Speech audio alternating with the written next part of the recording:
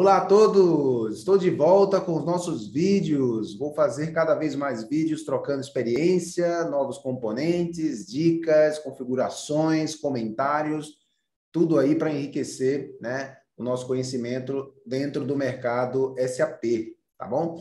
Hoje vou trazer para vocês aqui qual a importância de realizar a certificação S4HANA Public Cloud. Comentar aí o que, que é cada versão, daí para você formar uma opinião, ver realmente se é interessante dentro do seu conceito fazer uma prova como essa, se realmente não vale a pena. Eu quero que vocês comentem, tá? Sejam sinceros aí nos comentários. Uh, se vocês sentem que compensa fazer, se realmente é necessário, se realmente uh, vocês podem submeter a um projeto sem passar por uma certificação. Então, Quero ver a opinião de vocês. Vou mostrar para vocês aqui alguns decks de slide que eu fiz, né? Com o, o, os meus comentários em geral e explicando melhor em detalhes cada ponto. Bem, abrindo aqui uh, o material que eu fiz para explicar melhor.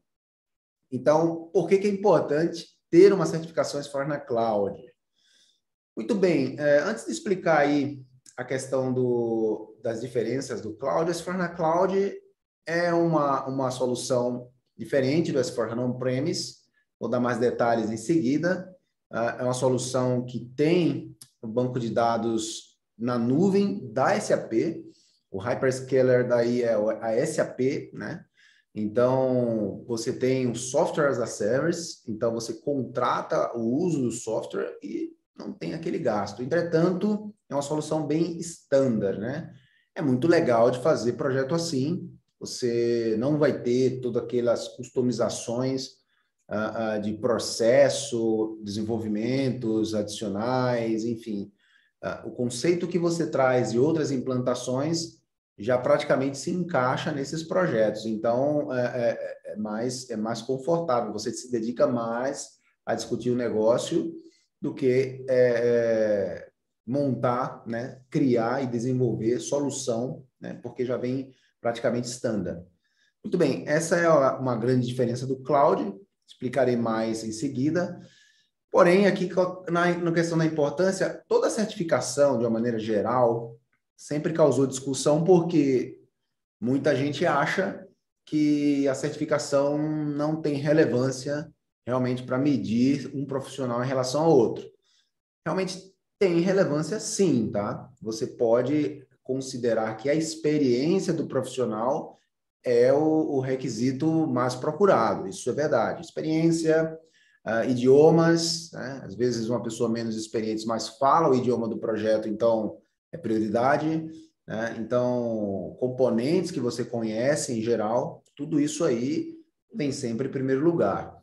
Entretanto, a certificação ela tem os fundamentos da ferramenta e é muito bem visto por qualquer cliente, porque é uma garantia que você, pelo menos, passou por um treinamento inicial e você não vai diminuir ali o, o, risco de uma contratação, né? A gente sabe que quando você contrata um profissional com experiência comprovada, ok, mas quando você não tem uma experiência comprovada, a certificação vem suprir isso aí, tá? É, ao invés do contratante do projeto buscar profissional no escuro. Então, isso é uma questão de uma especificação, de, de, uma conversa de especificações em geral. Falando em termos de especificação S4 HANA, a gente tem um elemento a mais, porque a experiência que eu estou falando aqui, que é a primeira, primeiro critério, ela já não é mais suficiente. Para você fazer um desenho de projeto S4 HANA, seja cloud ou on-premise, você tem que conhecer S4 HANA. Né? Você não vai com a mentalidade cloud, só, desculpa, a mentalidade RP para desenhar um projeto S4 HANA. Tem diferenças estruturais, muitas diferenças em componentes e até na interface de usuário, que é o Fiore. Tá? Então, não adianta muita gente falar que o S4 HANA é igual ao SAP RP, porque não faz o menor sentido isso daí. Então, comprovar para quem já tem experiência no RP que tem experiência no S4HANA é fundamental, tá? Como eu citei, componentes exclusivos E uma certificação como a Public Cloud em questão, ela é mais abrangente. Ela vai ali dentro, por exemplo, da certificação que eu fiz, que é a do Finance, ela abrange não só o, a parte do Finance né, em geral, como também é, tesouraria, custo, entre vários componentes do cloud ali.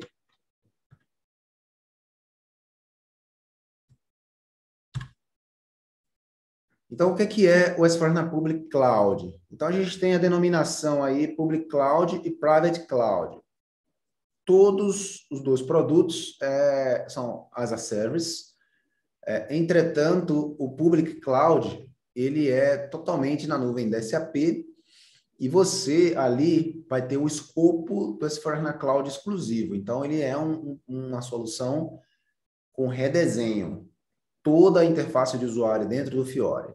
Quando a gente fala do Private Cloud, ele é o mesmo escopo do SAP On-Premise, S4HANA On-Premise, ou seja, você tem uma solução que permite mais customizações, então é destinada para empresas maiores com processos de negócios mais complexos, porque você pode fazer ali pelo SAP GUI, terá acesso ao SAP GUI, usar a metodologia ABAP, entre outras, tá?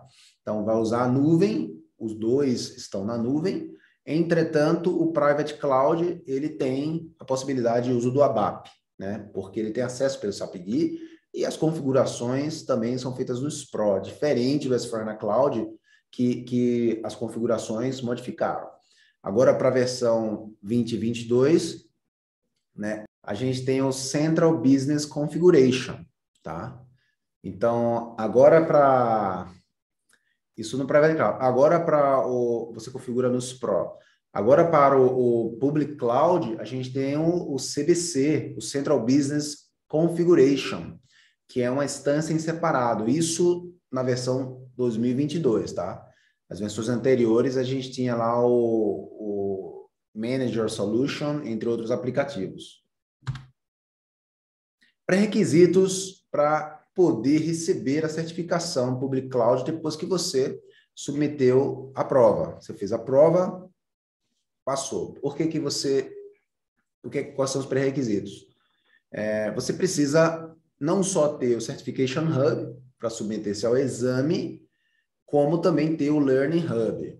Evidentemente que isso aumenta o custo da prova, né? Você vai ter que ter o Learning Hub no seu nome é, de forma que o programa de treinamento né, que você fez lá seja correspondente ao da prova. Então, você vai entrar na jornada, né, o, o, o Learning Journey, a jornada do aprendizado, para a sua prova, e aquele programa de treinamento tem que ser concluído. Você tem que fazer todas as provas por módulo e componente ali dentro, tá? E aí você conclui esse programa juntamente com o Certification Hub, você conclui a prova com, com aprovação acima de 53%, e aí você definitivamente recebe a aprovação. Então, tem esse pré-requisito. As outras provas, o que é que acontece? Você vai fazer uma certificação on-premise. Se você quiser fazer o Public Cloud, é, o, Private Cloud, por exemplo, é uma, é uma prova on-premise, porque é o mesmo escopo do on-premise. Uh, você não precisa do Learning Hub. Mas para a prova do Public Cloud você vai precisar, ok? Dicas de como estudar para certificação, tá? Então, aqui tem embaixo né, o link que você acha no SAP Help, o My SAP Learning Journeys. Lá você vai procurar essa prova aí, ó, Rise with SAP S4HANA Cloud Finance, no caso do Finance. Se você está em dúvida em quais provas você vai procurar ali dentro do, do seu Learning Journey, você vai aqui no Certification Validities, que é no site training.com, é, training.sap, training.sap.com, Certification Validity. Aqui você vai ter uma lista com todas as provas disponíveis, seja Public Cloud, seja Private Cloud, seja On-Premise, entre outras, tá? Aí você vai selecionar a tua prova, né? então você vai ter ali como fazer sua busca na, no Learning Journey.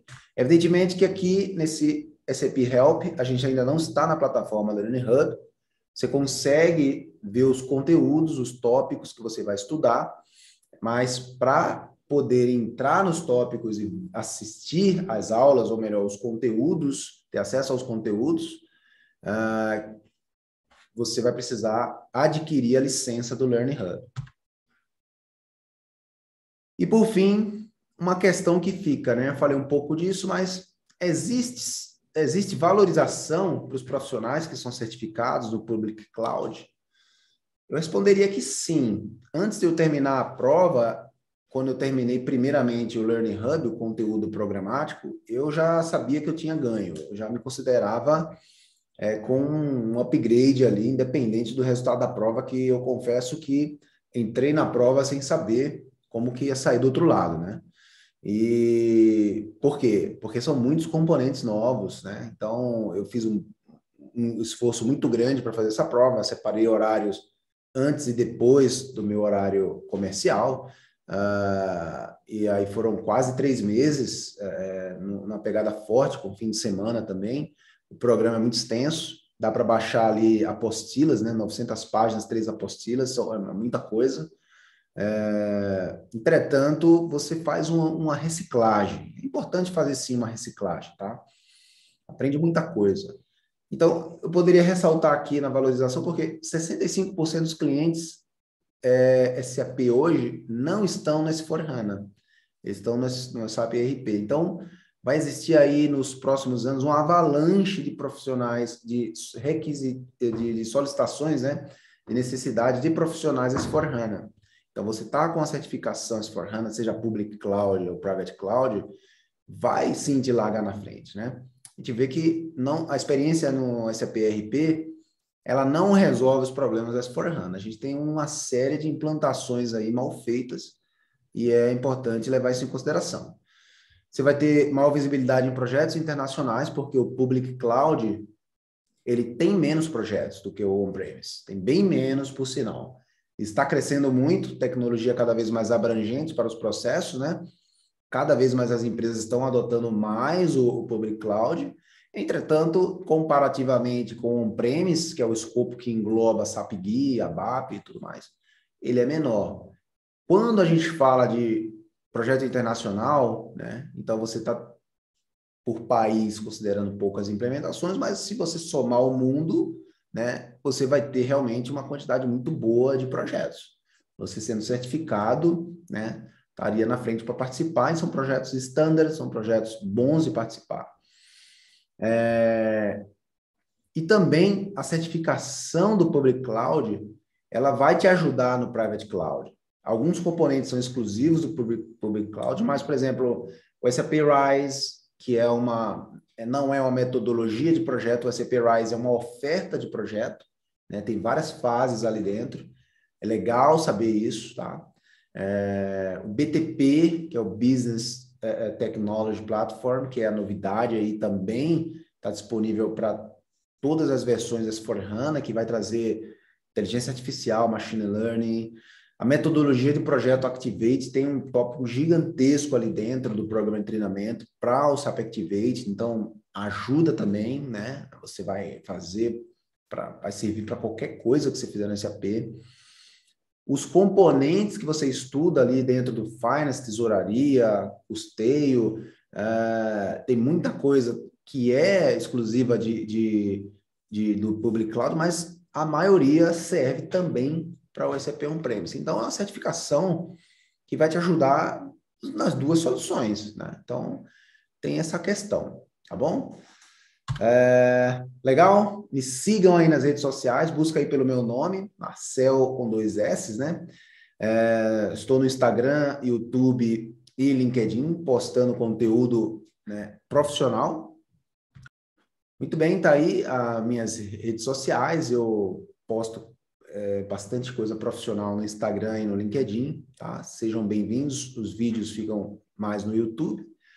É, e posta aí, é, é comenta para mim aí se você acha relevante se submeter uma prova Public Cloud. Uh, a gente sabe que o custo aumenta, você tem que adquirir duas licenças, que é da certificação e da, da do Learning Hub.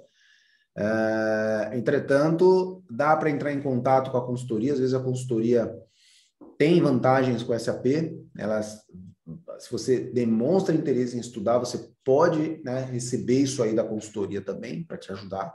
Então, tomara que dê certo.